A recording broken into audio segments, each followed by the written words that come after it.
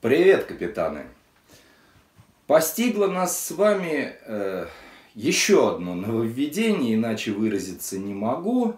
Минтранс России 19 января текущего года издал новый приказ об утверждении новых правил плавания по внутренним водным путям России.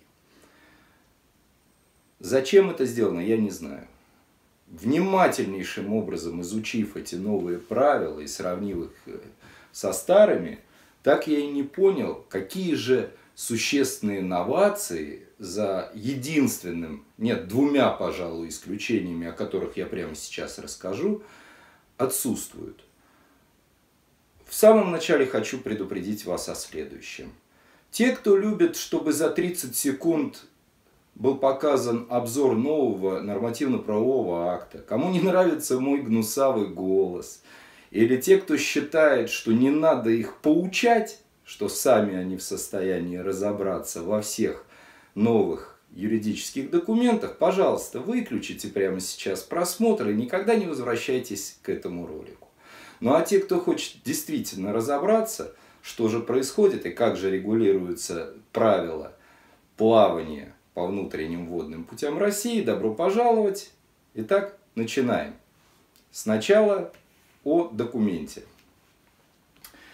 Этот документ, изданный 19 принятый 19 января 2018 года, утвержден приказом Минтранса России номер 19. Он опубликован 7 марта в официальном источнике. Ну и это я рассказываю не просто так, а в связи с тем, когда же он начнет действовать. Вопрос крайне немаловажный для нас. Впереди навигация, она вот-вот начнется. Будем ли мы жить по новым правилам или до этого времени еще есть какой-то промежуток. Вот текст этого документа, в котором прямо и недвусмысленно закреплено, что он начинает действовать, вступает в силу по истечении шести месяцев после дня его официального опубликования.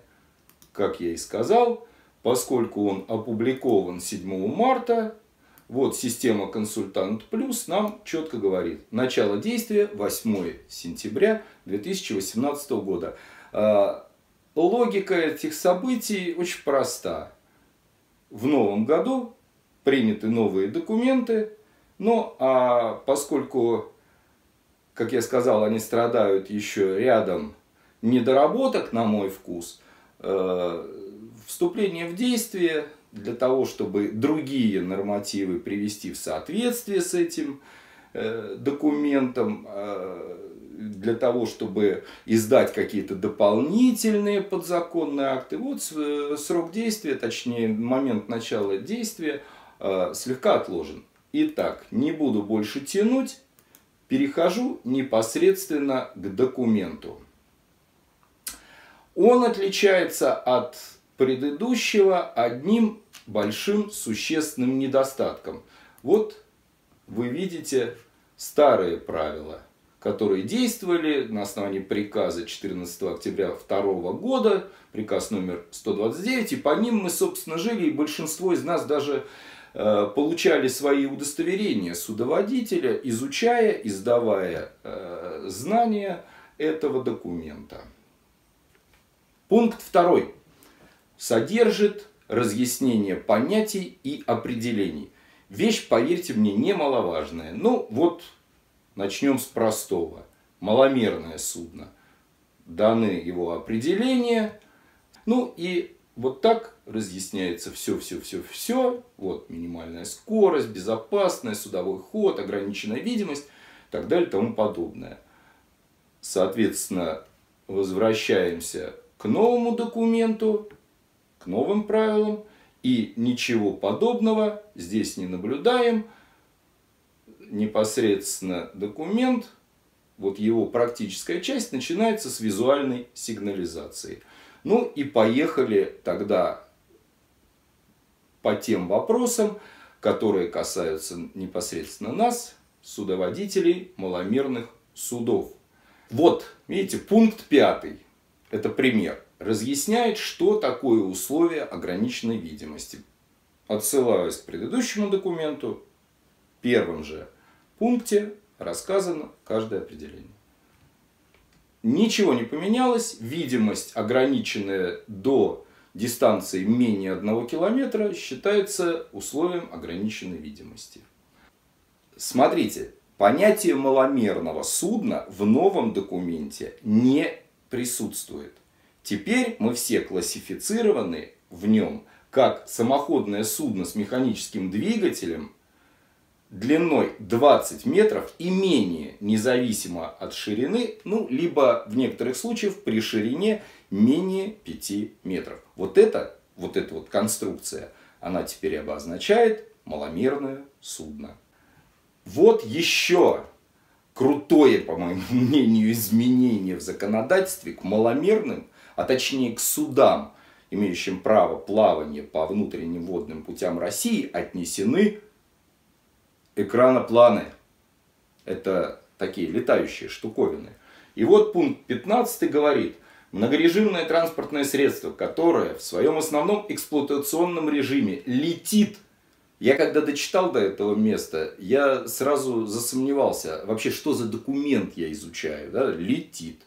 Точка. Для меня это был тупик, но набрался сил и прочел, что дальше. В непосредственной близости от поверхности, используя экранный эффект, далее экраноплан. Это опять же возвращает нас к отсутствию понятия определений. То есть только читая весь документ можно понять в каждом конкретном случае, о чем идет речь. Не очень удобно, поверьте. При взлете, посадке и во время полета вблизи поверхности, кроме сигнальных огней, указанных, ну, соответственно, в предыдущем пункте, должно нести один красный проблесковый круговой огонь. Итак, суда, ну, как мы называем их, регистровые, суда маломерные, суда не самоходные, баржи, плоты, суда парусные и экранопланы. То бишь, теперь когда мы движемся по судовому ходу или вне его пределов, мы всегда должны учитывать, что неожиданно сверху может прилететь подарочек в виде экраноплана, и с ним надо расходиться, его обгонять и так далее по правилам плавания по внутренним водным путям России. Как это будет э, выглядеть в действительности, я не представляю. Хотя, ну, к счастью, экранопланов на воде, кроме Химкинского водохранилища, знаете, возле ГИМС на улице Свободы стоит подводная лодка и краноплан на вечном приколе, я других не встречал и надеюсь, что мне и не придется. Чего я вам желаю. Далее, э, я пройдусь только по изменениям, а, э, существенно отличающим, ну хоть как-то отличающим а, старые правила плавания от новых. И о тех вещах, которые важны. Вот я к одному из них приблизился. Парусное судно на ходу должно нести изменений. Видите, я сделал пометочки. Изменений нет. То есть, уважаемые наши коллеги и друзья яхтсмены, для вас в плане визуальной сигнализации все остается по-старому. С чем, кстати, вас и поздравляю. Поехали дальше. Одиночное самоходное судно шириной 5 метров и менее, а также одиночное несамоходное и так далее, должно нести на мачте один белый круговой огонь. Кстати, э, заметьте, что сделал э, творец, иначе не назову, этого документа. Маломерное судно в понимании новых правил относится к разным категориям, то есть э, по-разному, к разным группам отнесено.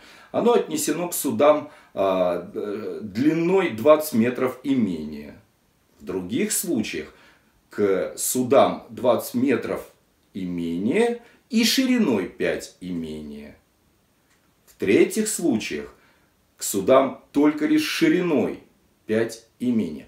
Э, понятие, которое дано и в водном кодексе, и в регламентах технических, во всех, маломерное судно, не использовано в этом документе. Это просто странно, потому что это подзаконный акт, есть такое понятие, и он должен не противоречить, а по возможности и максимально соответствовать в формулировках тому документу, тому закону, под которым он издается.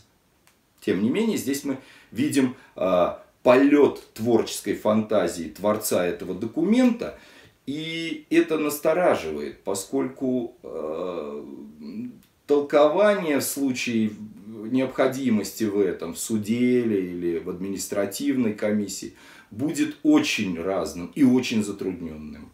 Вот еще один пункт, который вызывает э, у меня ряд вопросов. 65. Самоходные суда должны быть оснащены установками УКВ радиосвязи, позволяющими осуществлять радиосвязь с другими судами, береговыми службами на ВВП. А, нет уточнения или исключений для маломерных судов.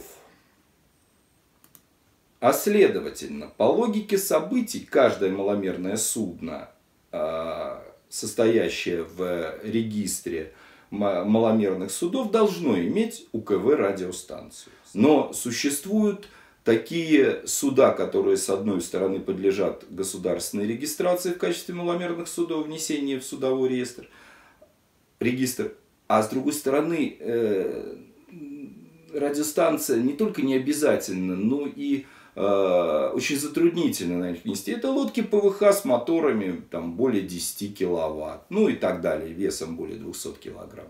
Например, с одной стороны, конечно, э, радиостанция это большой плюс, но с другой стороны, ну, надо же понимать, наверное, что люди, которые используют такое недорогое маленькое судно, позволить себе э, приобрести радиостанцию и не могут. Мало того, на э, воде ее и зарядить-то э, зачастую не от чего. Э, это недоработка нормативного акта, она в свою очередь свидетельствует о невысоком его качестве.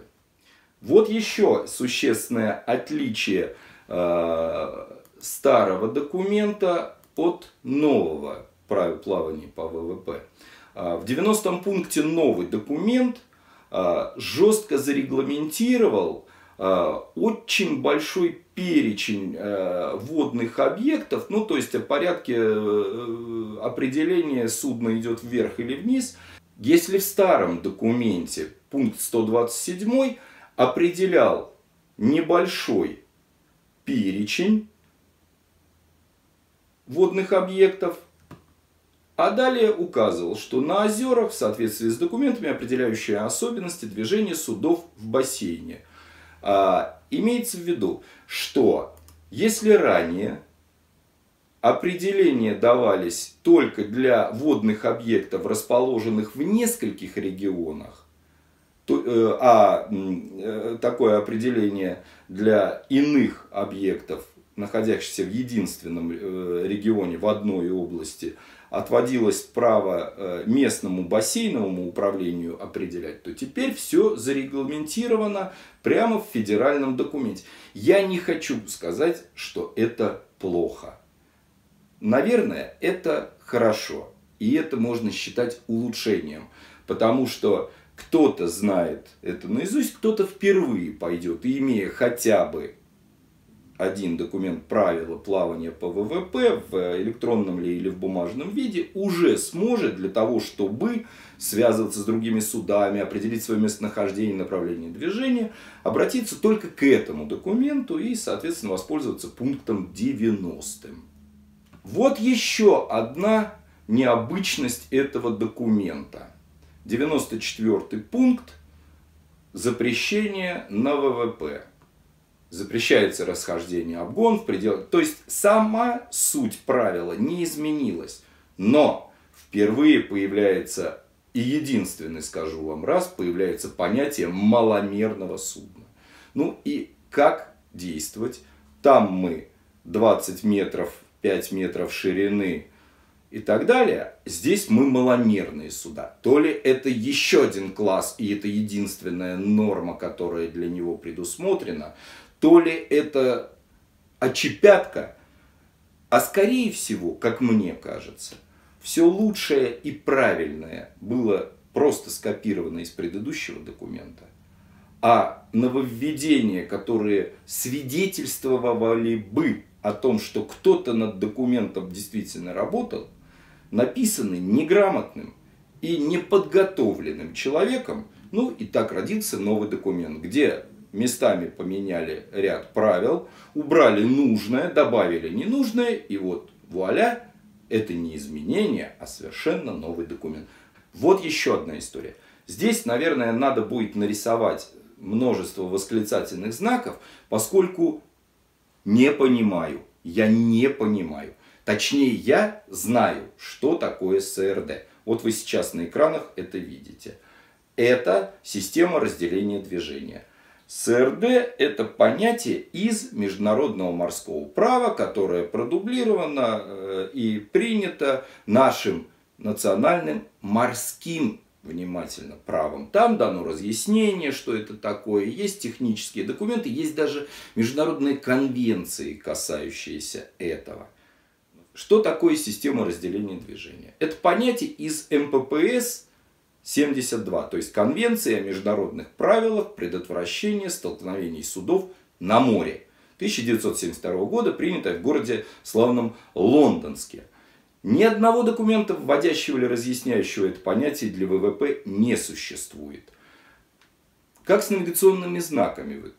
Есть морские навигационная латеральная система, и это нам разъясняют правила плавания по ВВП и новые в том числе. Есть, так сказать, внутренние знаки и обозначения, действующие на ВВП и ВП. И это тоже разъясняется.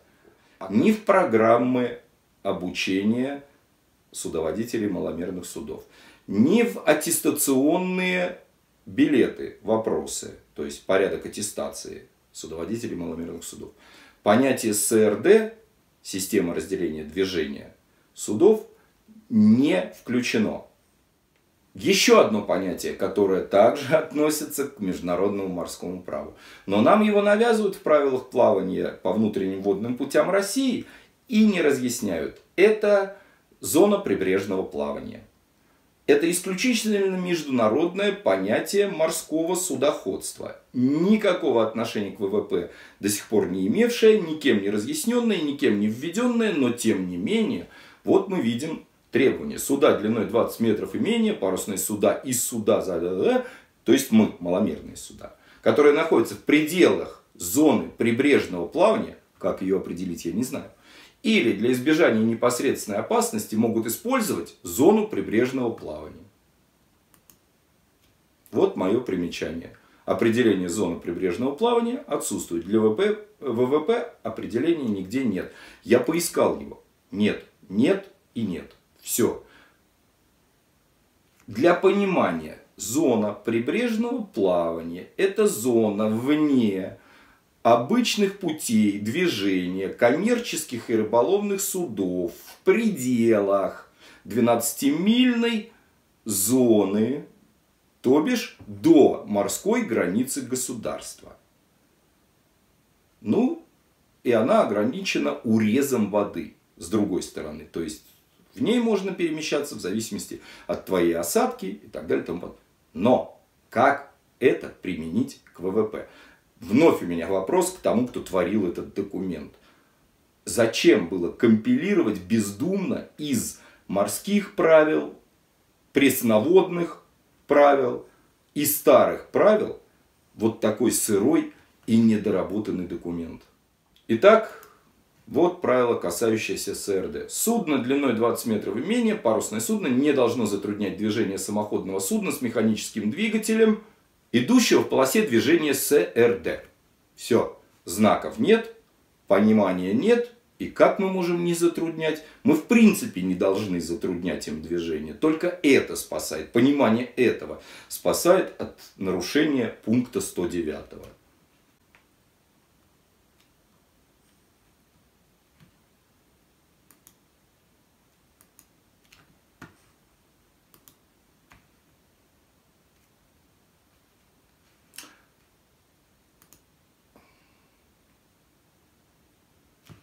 Значит, 124 э, пункт, ну, это точная копия того, что было в старых правилах, касается запрету, запрета нам, маломерным, двигаться в пределах судового хода, либо двигаться не далее там, 10 метров от кромки судового хода в случае, если за его пределами это невозможно.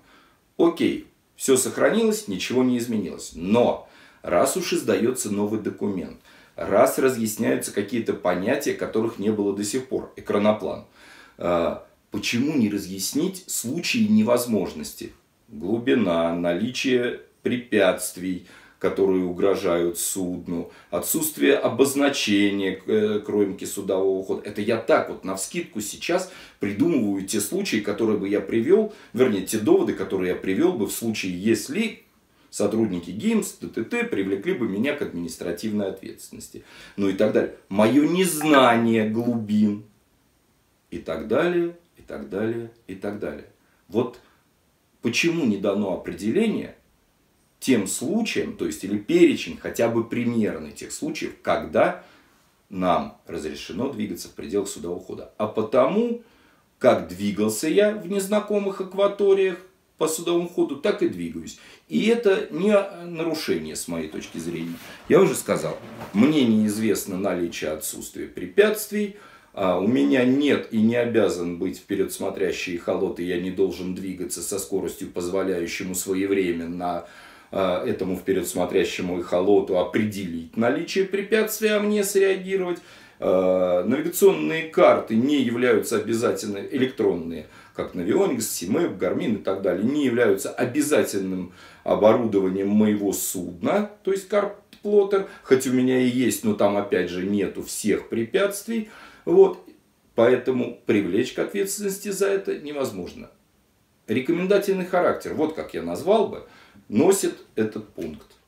Ну, на этом текст непосредственно правил я и закончу. Вы все ознакомитесь, конечно же, в описании к этому видео будет размещена ссылка для скачивания вот этого документа. Пожалуйста, занимайтесь с ним, работайте, изучайте. Если у кого-то возникнут а, какие-то вопросы по нему, или интересные наблюдения, или какие-то моменты, связанные со сравнением с другими, ранее действующими или параллельно действующими. Кто-то выявит а, противоречие другим документам. Пришите мне непременно в отзывах к этому документу на форуме а, www.travelonboat.ru в Фейсбуке на странице клуба независимых. Только коллективно, только вместе, размышляя над новым документом, изучая его и сравнивая, мы сможем достичь э, хоть какого-то его понимания. Ну, а Но, собственно, друзья мои, на этом обзор документа я и закончил. А в процессе я высказал все свои непонимания, удивления и недоумения, поэтому, пожалуй, дополнять и нечем. Читайте, спрашивайте, высказывайтесь без мата и без грубости, без политики и без ссылок на «а вот им этот закон не писан». Давайте, если есть такое желание, затеем разговор по существу. И если он действительно выльется в какую-то э, дискуссию интересную всем, берусь собрать все мнения, в, сформулировать некое а, общее мнение и направить его и в Минтранс России, и если понадобится в другие органы и организации, по крайней мере, таким образом мы а, свой гражданский долг судоводителей маломерных судов исполним.